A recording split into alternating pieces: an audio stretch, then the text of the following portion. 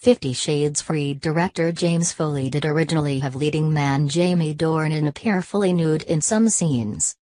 The Northern Irish actor reprises his role as Christian Grey in the sexy film Saga, with Dakota Johnson playing his love interest Anastasia Steele.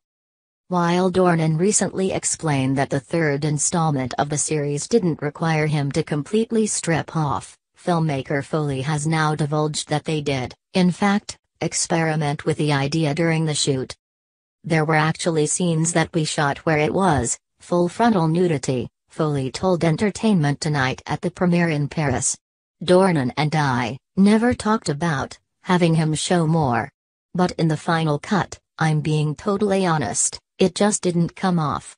Full frontal would have been a kind of deliberate cut, to see that for no reason.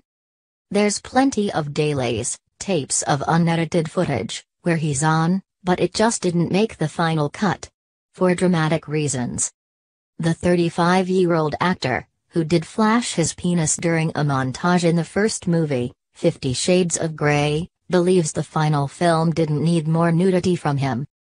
I feel like if it serves a story to see more, then I am all for it. If I don't think it adds anything or I don't deem it to be necessary to move the story along, then I don't think you need to see that part of me, or that part of Dakota, he told the publication. It just becomes sort of gratuitous if we don't need it. Several of the scenes in the trilogy required Johnson to go topless. And while she underwent serious psychological preparation for some of the racier moments, the 28 year old was always put at ease by her co star. Luckily, Jamie and I were so comfortable with each other and it felt safe and protected, but it's still an environment that's scary, she said.